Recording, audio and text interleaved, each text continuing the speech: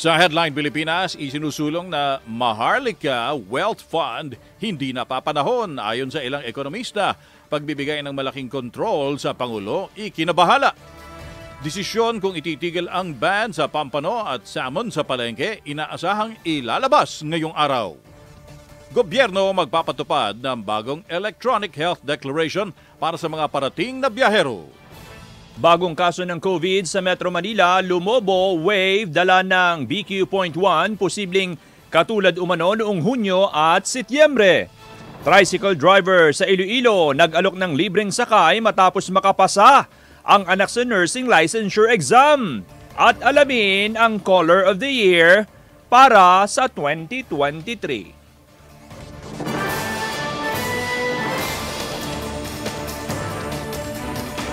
Mula sa News Center ng ABS-CBN.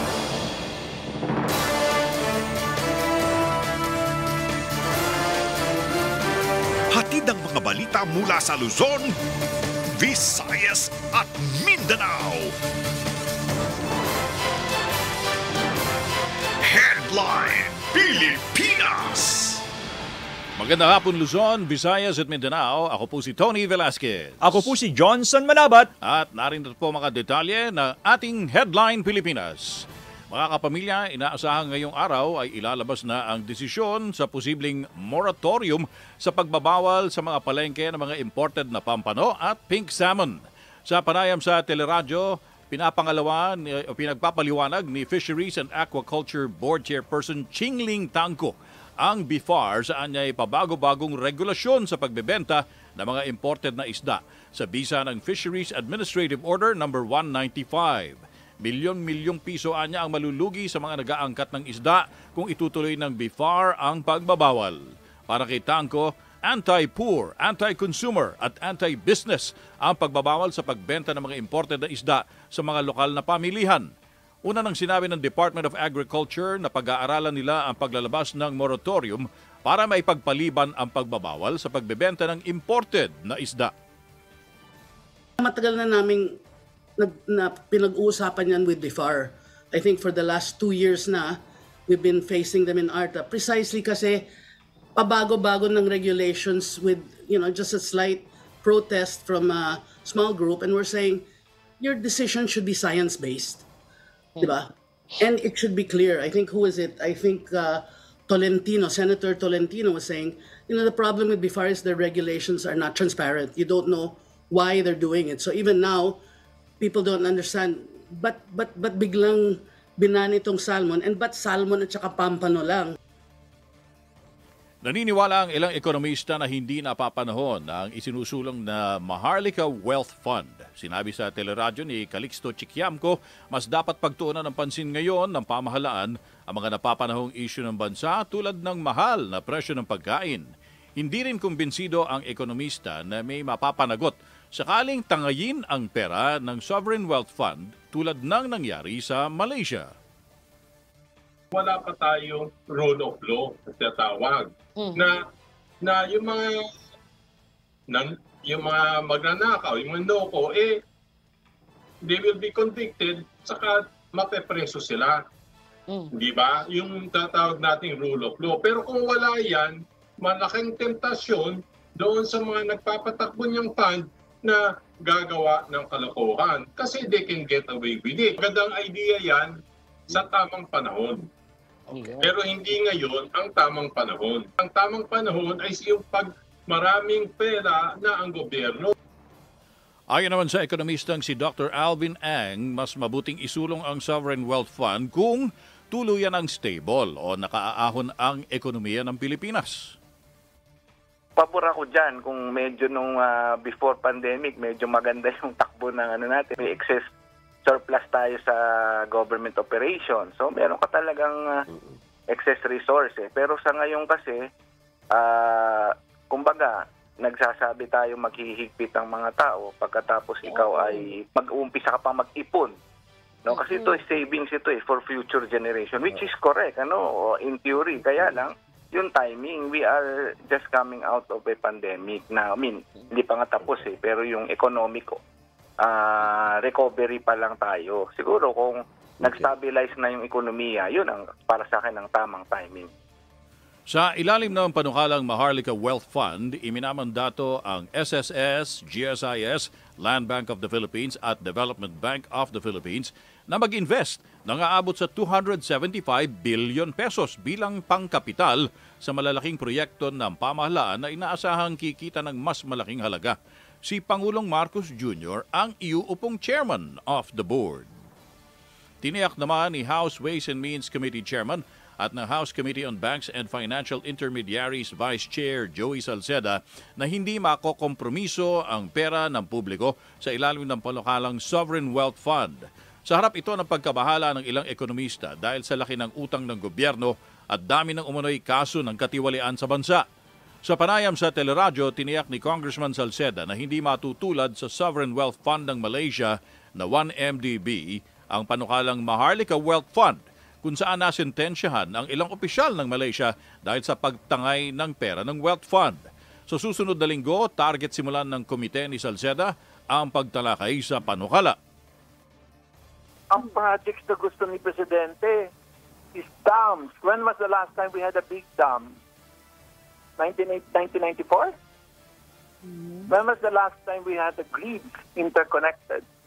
So do we have to wait for all these foreign investors who will probably say, okay, you're not investable and uh, demand so much? And uh, this essentially strengthens the Philippine bargaining position vis-a-vis private partners, whether domestic or foreign. May agam-agam din si House Senior Deputy Minority Leader Paul Daza sa panukalang Maharlika Wealth Fund. Partikular na nababahala si Daza sa mga probisyong nagbibigay ng malaking kapangyarihan para mapangasiwaan ng Pangulo ang nato, uh, naturang pondo. Sa panayam sa teleradyo, sinabi ni Daza na dapat ding ikonsidera ang mga kinatawan mula sa financial institutions at academe bilang miyembro ng governing board at hindi lang ang mga itatalagang opisyal ng Pangulo. Dagdag pa ni Daza, angkop lang ang ganitong programa para sa mga bansang walang utang, malaki ang revenue o kita at may malaking reserba ng dolyar. Okay sa mga uh, bayan, mga countries na may budget surplus. Ibig sabihin, sa sobrang dami ng revenue mo, ng income mo, ng gobyerno, hindi ka umuutang. In our case, hindi ganun eh. Sa 5.2 trillion budget natin next year, na 5.2, siguro dyan mga 2 trillion ang utangin eh. Ang mga mga 35 to 40 percent. So, ang tawag doon, ano tayo, deficit spending. Nakakapagtaka yung sa timing ng wealth fund. Dapat i-question natin, dapat wag naman madaliin, di ba? Mag, dapat magkaroon tayo ng magandang usapan. If it takes one month, two months, three months. Sa ibang balita, inilibing na isa pang batch na mga labi ng preso ng Bucor na hindi nakinuha ng kanilang pamilya sa punerarya. Kabilang ang mga ito sa 176 na naipong bangkay mula pa noong Disyembre ng nakaraang taon. Yan ang headline Pilipinas ni Bianca Dava Bianca. So ilan lahat yung mga bangkay na inilibing kanina? Johnson, 70 pang bangkay ng mga person deprived of liberty o PDL na hindi na na-claim sa accredited na punerarya ng Bureau of Corrections sa Muntinlupa City ang inilibing ngayong umaga. Nadagdag na ito sa unang sampung bangkay na inilibing sa Nubilibid Prison Cemetery noong Nobyembre 9 at sa anim na pupa noong isang linggo. Kabilang ang mga inilibing sa 176 na mga bangkay na naipon sa Eastern Funeral Services mula Disyembre noong nakaraang taon hanggang nitong Nobyembre na natuklasan habang iniimbestigahan ang pagkamatay ng PDL na si June Villamor ang itinuturong middleman sa pagpaslang sa mamamahayag na si Percy Lapid. Ang sabi ni Bucor Deputy Director General for Reformation na si Dr. Maria Cecilia Villanueva, inabisuhan naman ng NBP ang pamilya ng mga nasabing preso. Pero sa libing kanina ay walang kamag-anak ang pumunta. Kabilang sa mga inilibing ngayong araw ang mga mummified o nanunuyot na kaya mahirap ng e-autopsy.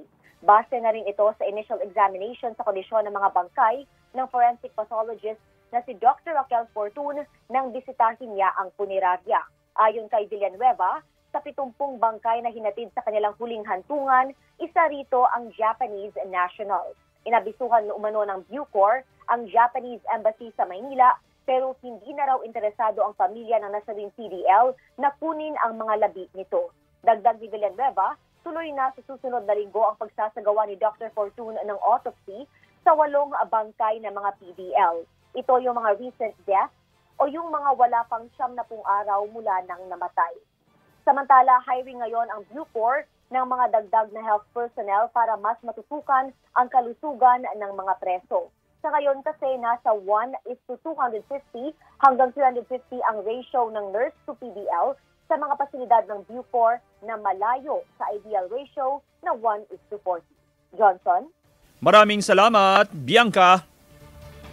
Pinaniniwalaan ng mga abogado ni dating Senador Leila de Lima na magiging daan sa pagbasura ng kaso ang pagbawi ni dating Bureau of Corrections o IC Rafael Ragos kaugnay ng kasong illegal drug trading laban kay dating Senador de Lima. Yan ang headline Pilipinas ni Jeff Caparas. Jeff. Johnson, higit tatlong oras tumagal ang hearing ngayong umaga dito sa Muntinlupa RTC Branch 204 kaugnay ng criminal case number 165 laban kay dating Senador Laila de Lima. Paglabas si de Lima Johnson sa korte, nabanggit ng dating senador ang mga katagang The hearing went well na ayon sa kanyang abogado na si Attorney Bonifacio Tacardon dahil ito sa consistency ng testimonya ni Ragos sa hearing kanina. Umaasa ang kampo ni De Lima na sa recantation ni Ragos matutuloy ito sa pagkabasura ng kaso. At ah, kapag natapos na sa pagbibigay ng testimonya si Ragos, maghahain sila muli ng petition for bail. Matatandaan na dati nang naghain ng petition for bail ang kaso ng dating senador pero dati na ito dahil sa aligasyon ni dating Bucor OIC Rafael Ragos na nag-deliver umano sa ng 10 milyong pisong umano'y drug money kay De Lima. Ngayong binawi ni Ragos sa mga testimonya, umaasa ang kampo ng dating senador na mapagbibigyan na ito dahil mawawala na aniya ng basihan ang pagkakakulong ni De Lima. Samantala, Johnson, nagmonson, um, nagmoson umano ang prosecution na iupo sa witness stand ang videographer na kumuha ng video ni Ragos habang nagbibigay ng kanyang testimonya sa Public Attorney's Office para sa authenticity nito. Higit isang oras umano ang raw and unedited video na nasa korte na. Hindi na nagbigay ng komento sa media si Ragos at co-accused ni De Lima na si Ronnie Dayan. Johnson. Jeff, yung video na yon hindi ba na ipi-play pa sa korte? Hindi pa, Johnson, eh. Ang kopya nito ay nasa korte na at humihingi na ng kopya yung kampo ni ah, dating Senador De Lima tungkol dyan, Johnson. Maraming salamat, Jeff Caparas. Attention po sa mga kapamilya nating motorista, mamayang gabi na isasara ang C5 Ortigas Flyover at Pasig Boulevard Flyover na magsisimula ng alas 10 ng gabi hanggang alas 5 ng madaling araw. Uumpisahan na kasing kumpunihin ang dalawang flyover na magtatagal ng isang buwan. Sinabi sa teleradyo ni MMDA Chairman Attorney Romando Artes, nag-anunsyo na sila ng alternate routes at pinag-aaralan ng maglagay ng zipper lane. Magtatala- magtatalaga rin anya ng mga traffic enforcers sa lugar. Sa ngayon, tigil muna ang paghuhukay at pagsasara ng mga pangunahing lansangan dahil sa holiday season. sa ngayon na-observe namin, nag extend na hanggang mga alas 11 ng gabi yung mabigat na daloy ng traffic. Yan po siguro ay kasadahilan sa ah, Christmas rush or Christmas shopping po ng ating mga kababayan. Lahat naman po ng measures ah, para ma- mapabilis yung daloy ng traffic ay ginagawa po natin. Hindi lamang po maiiwasan itong mga repairs po na ito dahil ito po ay para sa safety ng ating mga motorista. Gaya ng inaasahan, masaya ang mga commuter na magdamaga na ang libreng sakay sa EDSA Bus Carousel kahit hanggang Disyembre na lang. May ilan namang nagulat na wala ng bayad sa EDSA Bus Carousel pagsapit ng alas 11 ng gabi. Yan ang Headline Pilipinas ni Jose Carretero.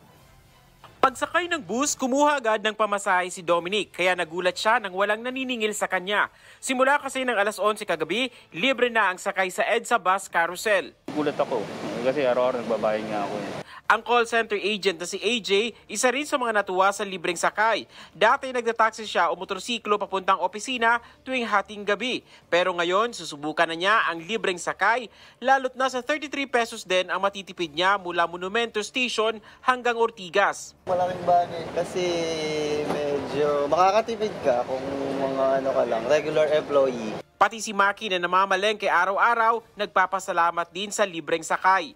Ngayon ko lang nalaman. Kahapon, nagsakay ako, wala, may bayad pa yun eh. Kabawasan din sa trabaho ng mga konduktor ang libreng sakay. Mas magaan ngayon kasi ano, hindi na kami naniningil. Wala nang sukli, asis-asis na lang.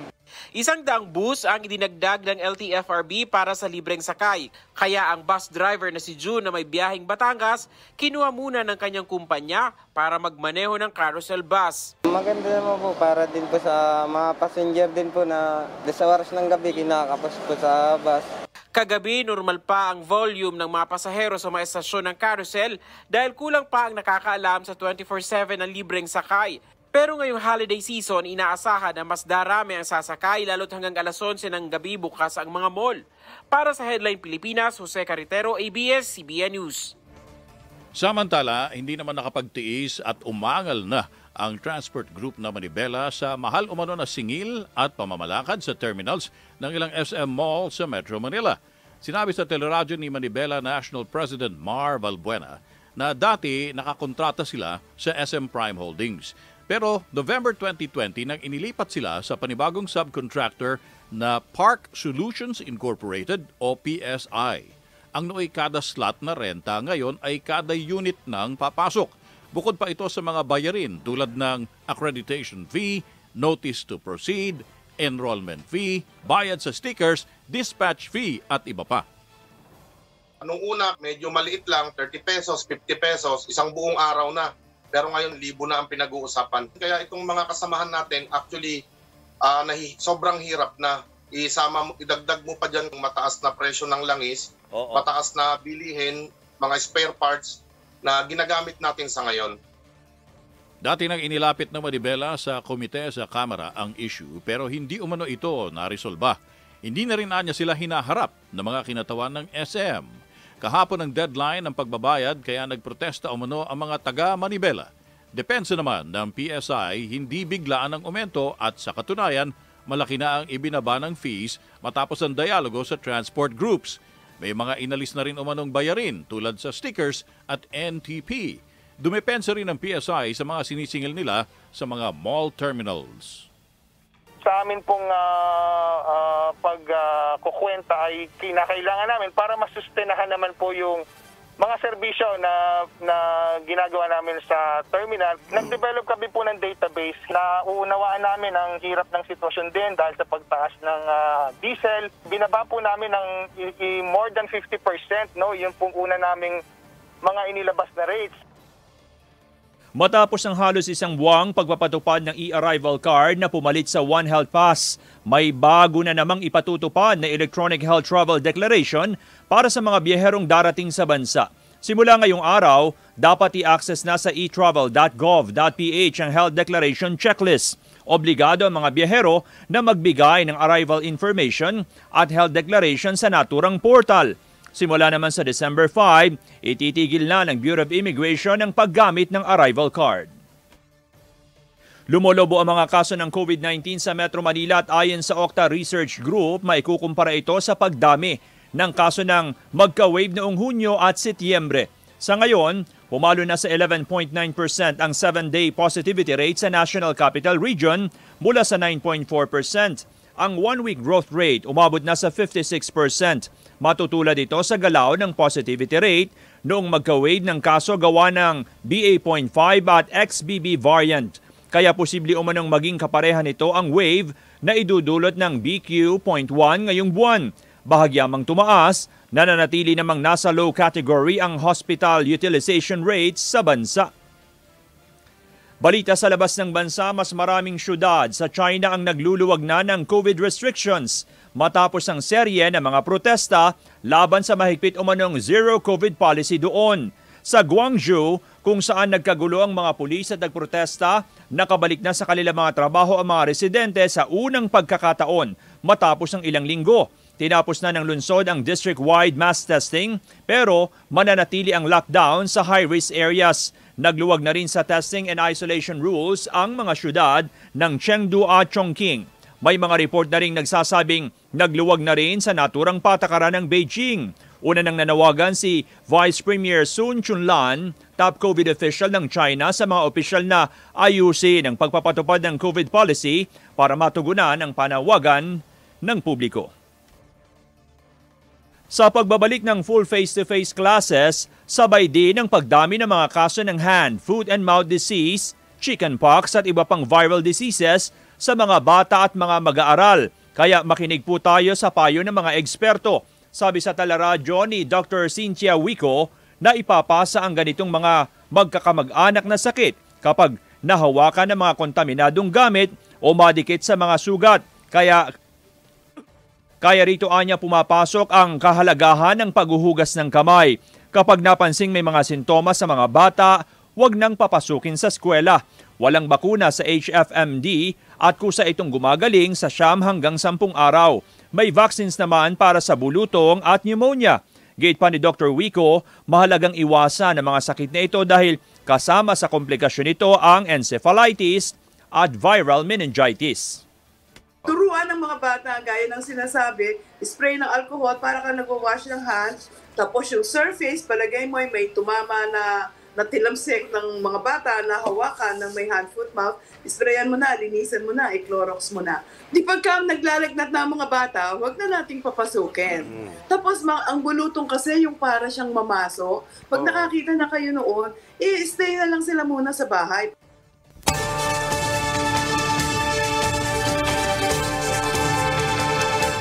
At alamin naman natin kung meron pa rin ba tayong maaasahan na pag-ulan ngayong unang weekend ng Disyembre mula sa ating ABS-CBN News resident meteorologist Ariel Rojas. Ariel, ganda hapon.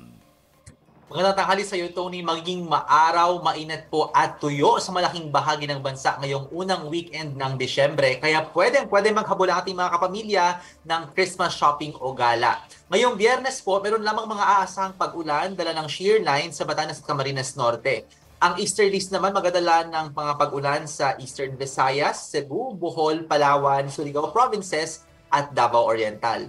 Bukas, araw po ng Sabado, aatras ang amihan at ang mainit na easterlies ang iiral sa halos buong bansa. Meron lamang mga pagulan sa silangang bahagi ng uh, Aurora, Isabela at Quezon dahil dito tatama itong hangin ng easterlies sa lupa. Sa linggo, iihip muli ang amihan sa extreme northern Luzon at sa silangang bahagi naman ng Bicol Region, Eastern Visayas, Caraga at Davao, may mga aasahang pag-ulan dahil din sa easterlies. Dito po sa Metro Manila, maaraw at tuyo pero posible pa rin ang mga daglian at di magtatagal na mga pag-ulan. Wala rin inaasahang sama ng panahon hanggang sa susunod na linggo. Yan ang headline sa lagay ng panahon. Ako po si Ariel Rojas. Happy weekend at ingat ka pamilya. Balik sa iyo, Tony. Saan kaya gagala si uh, Kuyang Ariel? Feeling ko. Sa Christmas party ng reporters tayo gagala sa Sabado. Ah, sabi no, kaya pala may hinahandang dance number si Kuya. Wow. thank you, thank you, Ariel. At abangan, Pangulong Bongbong Marcos sinimok na madaliin na ang pagpuno ng mga pangunahing pwesto sa gabinete. At Ann Curtis, dream come true na maging cover ng isang fashion magazine. Yan at iba pa mga balita sa pagbabalik ng Headline Pilipinas.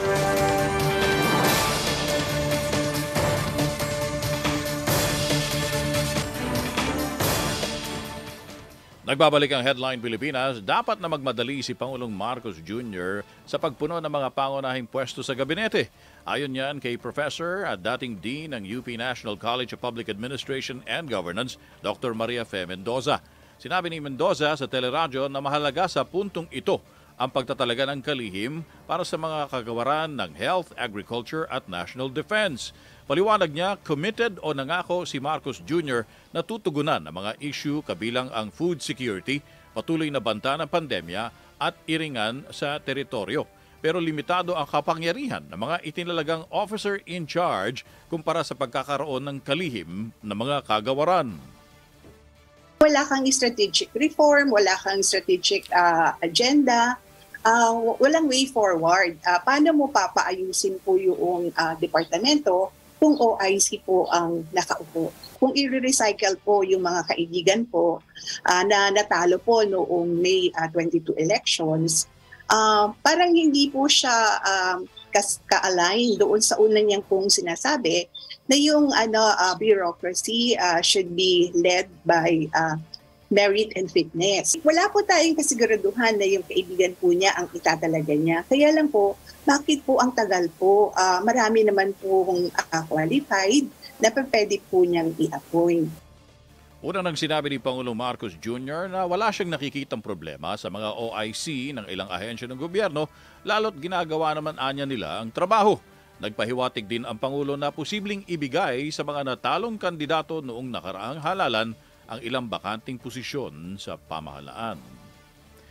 Pinalagan sa Kamara ang pagsusulong na maibalik ang tinapyas na pondo ng National Task Force to End Local Communist Armed Conflict o NTF-ELCAC sa panukalang 2023 National Budget.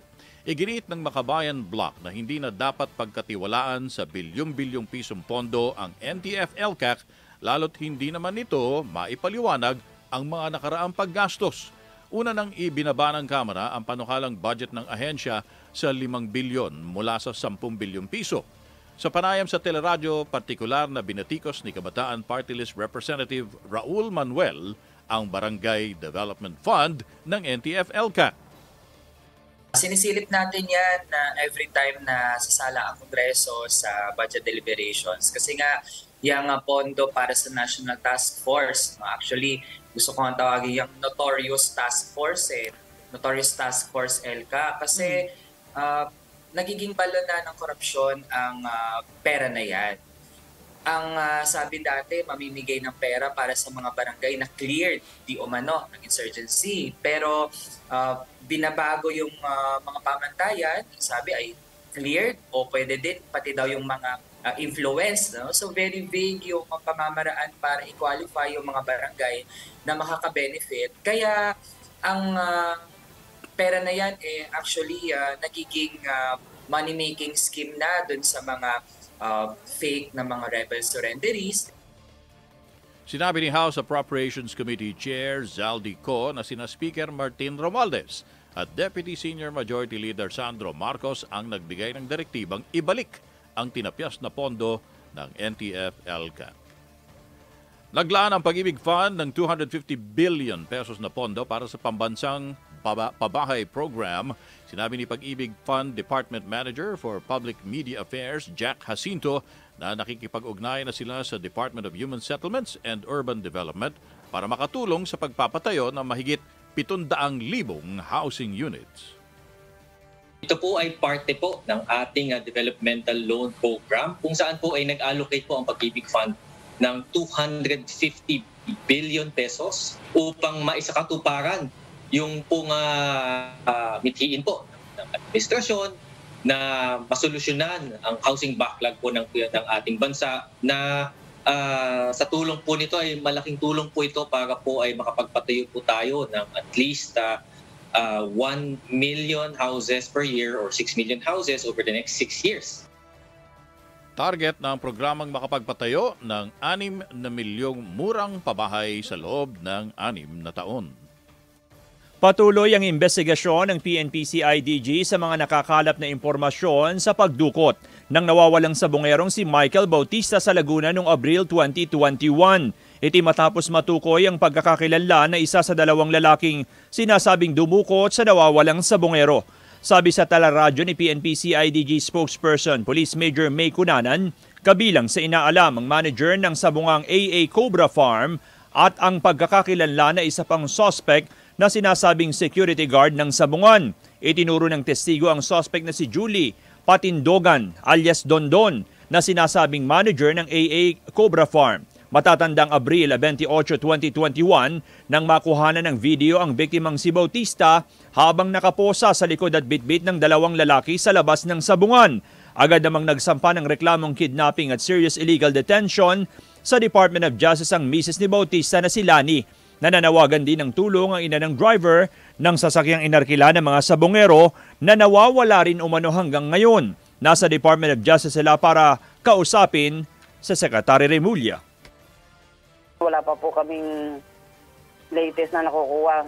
Punta lang po sila sa, sa sabungan tapos hindi na po siya nakauwi. Nakauwi po yung sasakyan na oh. natagpuan po namin sa bypass road. Of. Matapos ang halos isang taon, hindi pa rin nakikita ang mga real estate agent na nawala sa Batangas. Sabi sa teleradyo ni Rodelio Larena Sr., ama ng nawawalang real estate agent na si Rodelio Larena Jr. o JR, Hawak na ng NBI ang kaso pero wala pa rin silang nakukuhang update hanggang ngayon. Hindi rin anya nila alam kung ano ang nangyari sa investigasyon o kung hinahanap pa rin ng mga pulis ang kanyang anak. Noon pa man anya, wala ng pulis ang gustong humawak sa kaso at wala ring pulis na gustong mag-blatter sa nawawalang anak.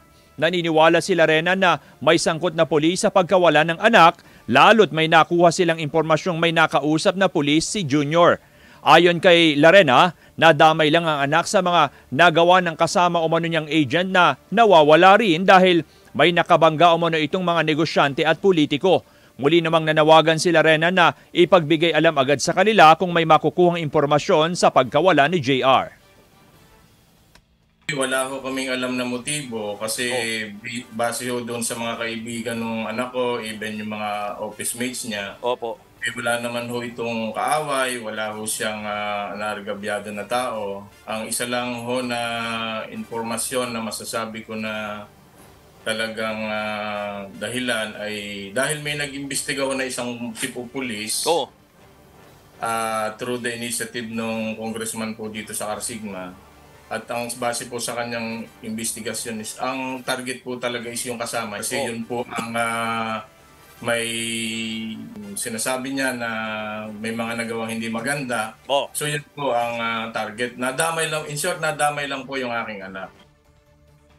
Kinumpirma ng Bureau of Jail Management and Penology o BJMP na nakakulong sa Metro Manila District Jail sa Kambagong Diwa sa Tagig ang isa sa sinasabing suspect sa karnaping at tangkang kidnapping sa Silang Cavite. Kinilalang suspect na si Julian Paning Batan Jr. na dating miyembro ng Philippine Navy. Sinabi ni BJMP spokesperson Jail Superintendent Xavier Solda na ang preso ang katex ng isa sa mga biktima kaugnay ng isinang, ah, isinanglang lupa sa Cavite. Na-recover na rin anya ang ginamit na cellphone ng suspect. Yung former Navy officer na nakulong no, sa Metro Manila District Jail, annex to, naroon pa rin siya hanggang ngayon. Isa sa mga challenges talaga natin yung pagpasok ng mga kontrabando sa jail natin. Isa na nga dyan yung cellular phone. So definitely, for this specific case, no, papaimbestigahan natin kung paano ba nakapasok siya. Nauna nang dinukot ang apat na biktima at nanghingi ang mga suspect ng 8 milyong pisong ransom. Pero nakatakas ang mga biktima matapos matanggal ang tali sa kamay at maagaw ang baril ang mga suspect. Naaresto ang dalawa sa mga suspect kabilang na ang caretaker ng isinanglang property habang nakatakas ang dalawa pa nilang kasamahan. Hindi nakaligtas sa Basag Kotse Gang ang real-life couple at on-screen kapamilya love team na si Ronnie Alonte at Luisa Andalio.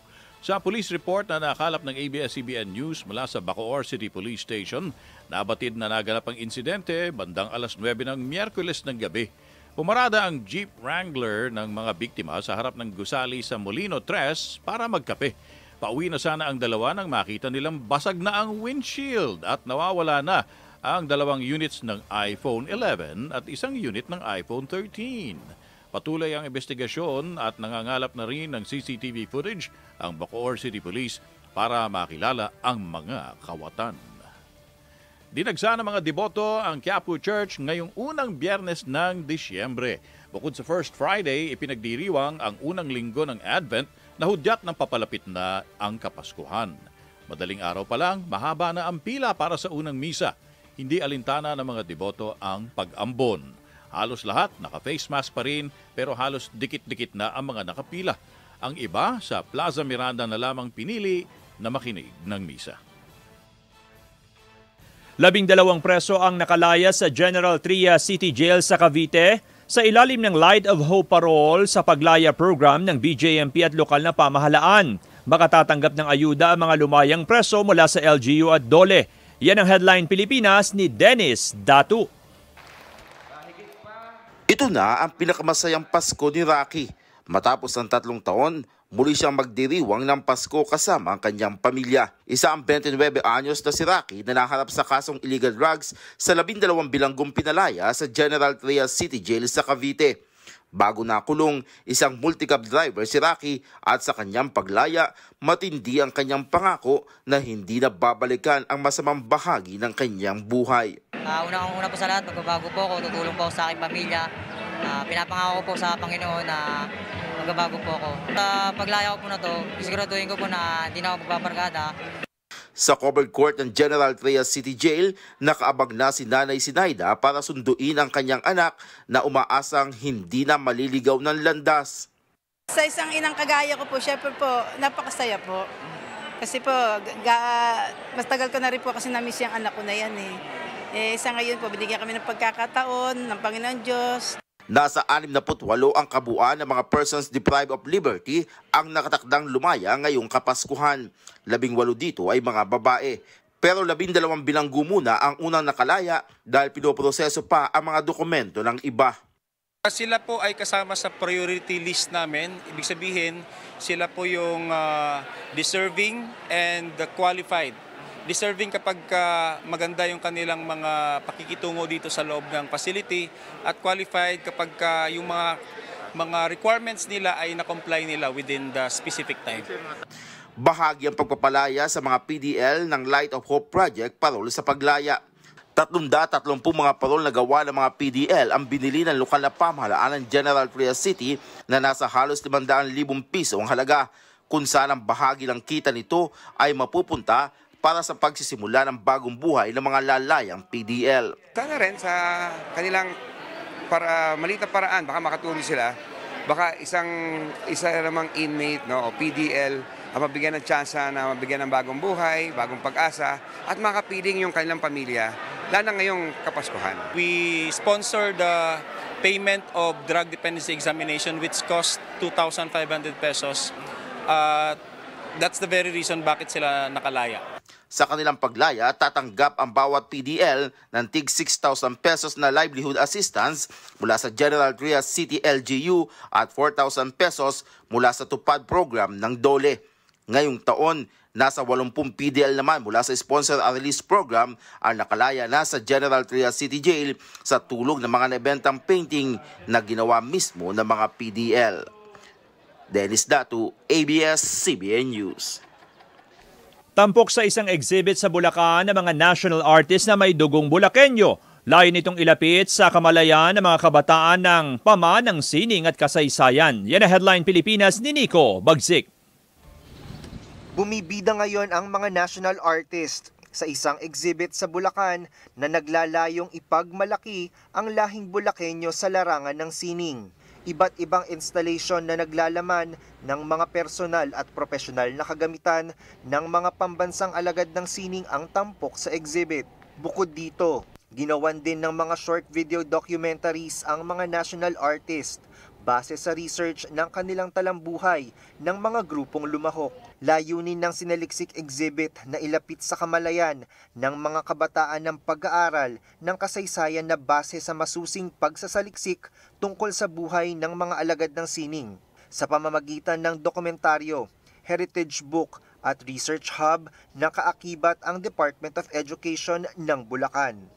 Nalungkot kami nung lumabas yung sa ah, video ng uh, Majoha, kung medyo alam niyo yun. Nalungkot talaga kami ron. Kasi, pero anyway, ginamit namin isang oportunidad ito lalo para mas lalo pa nating paigtingin yung ah, usapin ng contextualization at lokalisasyon. Ang programa ay inilunsad ng Bulacan Provincial Heritage, Arts, Culture and Tourism Office kasama ang DepEd ng Bulacan upang mas paigtingin pa ang pagsasaliksik ng mga dalubhasa at mga individual patungkol sa kasaysayan at mga likhang sining ng lalawigan. Alam mo yung researches na ginawa ng mga mahuhusay na tao natin dito, yung mga binuo nilang video, ang laking tulong sa amin, sir. Kasi wala naman talaga kaming materialis na makuha na talagang magpapakita ng ganong kakomprehensibo na diskusyon. At dahil sa nakagawa sila nito, ang laking bagay talaga na makita yung bata. Legit yung resources. So napakahalaga na alam natin kung ano ba yung identity natin bilang mga Bulakenyo or bilang mga Pilipino para mas maunawaan natin yung kasalukuyan at maging gabay natin sa hinaharap. Mahalaga ito para maipagmalaki natin kung sino tayo at mahalaga ito para matuto rin tayo sa mga lesson, mga aralin ng kasaysayan. Umaasa naman ang pihakto na maeengganyo ang mga kabataan na pag-aralan ang kasaysayan ng lalawigan na hitik rin sa sining at kulturang makabansa. Para sa Headline Pilipinas, Nico Bagsik, ABS-CBN News. Alam mo na ba ang latest? Updated ka na ba? Narito na ang showbus ni Papa Awel Pass! At alamin natin kung ano mga headlines sa showbuzz ni Papa Awel Paz. Papa Aw, gandang hapon. And Papa Johnson, gandang hapon, Mike Johnson. Ang pambansang Antobogabol, Ann Curtis, ay muli na namang nangabog bilang unang aktres sa Pilipinas na naging December cover ng Faith magazine na Vogue. Kalinya ng It's Showtime host bilang most influential personality ng bansa ang mga naunang cover na sina Filipino-American model Chloe Magno, Filipino-Chinese model Ika D, at Filipino tennis player Alex Ayala. Dream come true ito, ani Ann, na bukod sa ibidandera ang kanyang mga iconic na kasuotan, ay nagbahagi rin ng kanyang mga natutunan sa pagtahak sa mundo ng social media. Virtual versus normal, kumbaga. Kaya get your copies at congrats, Ann Curtis! Congrats din sa mga unang pinarangalan sa 27th Asian Television Awards o ATA na sina May Mendoza bilang Best Entertainment Presenter host sa kanyang programang Main Goals at Gab Pangilinan bilang Best Leading Female Performance Digital sa kanyang role sa Still na seryeng musical. Wagi rin ang Still bilang Best Screenplay at ang top class ng Cornerstone bilang Best Original Digital Entertainment Program na tinanggap naman ni Catriona Gray. Unang batch pa lang yan kahapon sa Aling Theater at may pangalawang bugso pa ng award sa December 8 sa Singapore Resorts World Sentosa. Kaya malaking good luck naman sa ibang Pinoy nominee sa iba't ibang kategorya. Samantala, inamin naman sa magandang buhay ng Idol PH third placer na si Kais na muntik na niyang bitawan ng showbiz dahil sa mga haters. Pero pilit niya itong kineri at paglago ng karera bukod sa musika, pati sa acting ay sasabak din siya. At sa cast ng Linlang, siya ay kasama. Actually, there was so many haters talaga. But at the same time, there were uh, a lot of ano din, uh, nice people out there. And I just decided to really divert yung focus ko to the people that are supporting me and who loves me and they're always there behind my back. So I really appreciate them so much. I just feel super grateful po kasi uh, acting wasn't in my real plan, real plan. It was supposed to be far in the future pa after I did my music. Pero it's here now and I wanted to grab this opportunity and you know um, probably make my improve myself in this aspect of entertainment po. Ay panahon talaga ni Kais. At kung ayon sa ulat panahon, ay pwedeng maglaba this weekend. Aba, isama na sa labahin ang panonood ng teaser ng Dirty Linen. Sa tagline pa lang na kaya pa bang pagtakpan ang mantsa ng katotohanan ay mukhang hindi ka lang mapapalaba, kundi mapapakula ka pa. Okay ka lang po ba? May mga dungis na mahirap linisin. Mami? May mga mantya na mahirap burahin. Abangan. Abangan! Handog ng Dreamscape Entertainment ang paparating na seryeng Dirty Linen na pagbibidahan ni na Janine Gutierrez, Zanjo Marudo, Francine Diaz at Seth Fidelin. Kaya, pakaabangan! Pero naku, may tonson, makulimlim ang mundo ng showbiz ngayon sa pagpanaw ng Philippines Queen of Condiman na si Miss Sylvia Latore Perez de Tagle sa edad na 89. Sa social media ay inanunsyo ito ng apong si Ana Maria Perez de Tagle at nagbigay pugay na rin sa kanyang lola sa mga kontribusyon nito sa radyo, telebisyon, pelikula at higit sa lahat sa musika. Abangan ang ibang detalye ng balitang yan mamaya sa TV Patrol. Mula po sa Teleradyo, pakikiramay sa pamilya ng Reyna ng Kundiman ni Sylvia Latore. At yan ang umiheadline sa Showbug. Ito si Papa A. Will pass para sa Headline Pilipinas. Happy weekend, my. Mm, kami rin ni Kuyang Johnson, no, nakikiramay sa Kikiramay po. pamilya ni Silvio Latore. Actually, alam mo, may naaalala ko pa na papanood ko nga si Silvio Latore nung Mm. panahon yun. 89 lang pala, no? Oo, oh, bata pa. Oh. Sabi nga ni Senator Juan Ponce Enrile. Batang bata pa. Papaaw, happy weekend. Ay, wala Na, na. nagpaalam na. Paalam. Ayun. Nagmamadali, nagmamadali na mag-weekend. Ala ko na maalam ka na eh. Uy, uy, uy, Hindi, nagpaalam. Na, pagsamantala. Paalam lang. Paalam lang. Okay. Bye! Oo, bye-bye. At ngayon, at ngayon ay alamin na natin kung ano mga humiheadline sa mga probinsya. Mula sa Cebu, si RC Dalagit. RC. Tuni kusog na hangin o ulan na batyagan sa Barili, Cebu. Mula Zamboanga City, Jewel Reyes. Ano mga headlines dyan? Johnson closed fishing season na sardinas sa Principea na mga Mar del Ciudad de Zamboanga. Lahat ng yan sa pagbabalik ng Headline Pilipinas.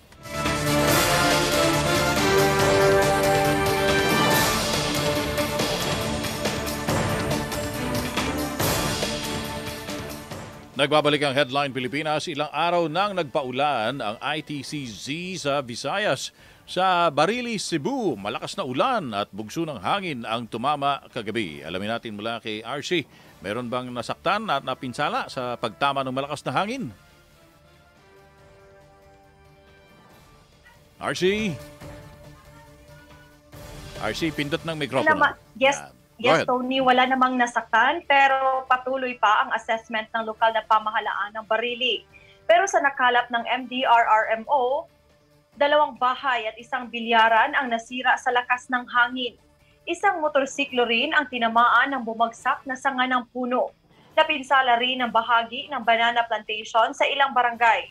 Isang kalsada rin ang nabaharan o nabarahan pero agad na nalinis. Wala namang na-report na nasaktan. Ginunita ang ikasampung taong canonization ng unang Cebuano at ikalawang Filipino saint na si San Pedro Calungsod. Idinaan sa isang musical play na tinawag na Scenes from a Martyrdom ang paggunita na ipina o pinalabas simula ngayong araw hanggang December 4 at December 15 hanggang sa December 17. Highlight ng musical play ang missionary works ng Batang Pedro Calungsod sa Guam. Ayon sa direktor ng show na si Father Chacha Jaime, gusto nilang ipakita kung paano ipinakalat ni Kalungsod ang Kristyanismo sa pamamagitan ng katekismo at evangelization.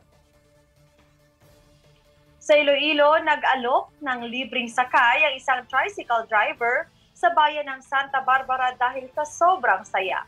Nitong Miyerkules, tuwang-tuwa si Jericho Galache ng Barangay GMPD nang malamang nakapasa sa Nursing Licensure Exam 2022 ang kanyang anak na si Carl Galache. Dahil dito, nilibre niya sa pamasahe ang lahat ng kanyang naging pasahero. Marami naman ang natuwa at nagsabing inspirasyon ang ginawa ni Mang Jericho. Ug mao na ang mga balita. Gikan dinhi sa Visayas ako si RC Dalaget. Balik ni mo Tony. Dagang salamat, RC. Nagsimula na kahapon ang close fishing season sa panguhuli ng sardinas o ng tamban sa bahagi ng Zamboanga. Joel, hanggang kailan na bawal manghuli? Tatagal ang closed season hanggang Marso 1 Johnson. Sakop nito ang panguhuli ng tamban na ginagamit sa sardina sa Cebu Bay, Basilan Strait at East Sulusi. Dahil dito dalawang barko ang pinalayag ng BFAR 9 para mag-monitor sa laot at malaking bahagi ng produksyon ng sardinas ay nagmumula umano sa East Sulusi kaya mahalaga umanong matiyak na makapagparami ang mga isda sa closed fishing season. Nailigtas naman ng mga tauhan ng Philippine Coast Guard ang mga labing, ang labing isang sakay ng tumaob na bangka dito sa Zamboanga City. Pasado alas 10 ng gabi nang makatanggap ng tawag ang PCG mula sa mga residente ng Mampang at inireport ang pagtaob ng commercial fishing boat na FB Jaya 1 sakay ang labing isang mangingisda kabilang na ang boat captain. Unang na-rescue ng PNP Maritime Group ang dalawa sa kanila. Kasunod dito, nagpakalat ng team ang PCG Station Zamboanga at nailigtas ang siyam na iba pa. Nasa mabuting kalagayan ng lahat ng nailigtas na mangingisda. Kasunod ng World AIDS Day, sumailalim sa HIV-AIDS screening ang mga preso sa Tagum City Jail sa Davao del Norte. Ayon sa City Health Office, gusto nilang magkaroon ng access ang lahat sa HIV screening bilang suporta sa kampanya kontra HIV-AIDS. Nagpa-HIV test screening din ng City Health Office ng Samal o ng Island Garden City of Samal at nagsagawa ng educational seminars para bigyang impormasyon ang publiko tungkol sa sakit mula noong September 2022, umabot na sa 73 ang kaso ng HIV sa Samal City. ESM Mga Noticias, Atina iyo si Jewel Reyes, balik sa'yo Johnson. Maraming salamat and happy weekend, Jewel! Paskong Pasko na sa Makati City kagabi, binuksan na po ang taunang pailaw na bahagi ng tradisyon sa lungsod. Sa tapat ng Central Post Office, pinailawan ng Christmas lights. Asul ang motif ng mga ilaw, nakapansin-pansin ang liwanag sa kanto ng Ayala at ng Buendia Avenue. Ayon sa Makati Public Information Office, bukas araw-araw ang atraksyon mula alas 6 ng gabi hanggang alas 6 ng umaga. Ito, Kuyang Johnson, ah, ano ba ang paborito mong kulay? Blue. Halata ko nga. Oo nga, sakto. Oo pero pareho tayo, ha? pareho tayong blue ang favorite color. Ha? Pero eto, partner, ay palitan mo na. Ah, palitan mo na daw yung favorite color mo at gawin mo na daw Viva Magenta. Ah, itong Viva Magenta dahil ito ang idineklarang Color of the Year para sa 2023. Eh, ayon sa Pantone, ang Viva Magenta, ito yung pinapakita natin, ha? parang kulay na crimson red tone na nagpapakita raw ng bagong lakas at pagiging positibo pero hindi naman agresibo at overpowering. Simbolo rin umano ito ng bagong kinabukasan sa harap na rin ng mga kinakaharap na hamon sa buhay, partikular ang COVID-19. Ba't parang si ano to? Si Red Skull yung, yung, ba yan? yung sa Captain America. Oo nga, ano. Ayun, Viva Magenta. Good luck. Pero pula eh, di ba? Parang mahirap atang bagayan ng pula lagi kung araw-araw. mo. Mhm. Pag Monday. Pag man, ayon, yun ang parang ano, di ba? Parang tradition, Monday, pag salubong, Mm. pula ang suot mo. Oh, speaking of pula, alam ba ninyo mga taga Cebu na birthday ni RC Dalagit ngayon? Happy birthday! RC, happy, happy, happy birthday! Alam mo na gagawin mo. dapat pala, ano yung, ano gagawin? Mag-celebrate. Ayun, magdiwag. Happy birthday, RC! At yan ang mga balita aming nakalap mga kapamilya. At dito pa rin po kami para sa inyo kaya tuloy-tuloy niyong napapanood ang teleradyo sa cable, social media at sa iWant TFC. Ako po si Tony Velasquez. At naririnig din po tayo sa ABS-CBN Radio Service App at ABS-CBN News App Kapamilya. 23 days na lang. Pasko na. Ako si Johnson Manabat hanggang sa lunes. Ingat mga kapamilya.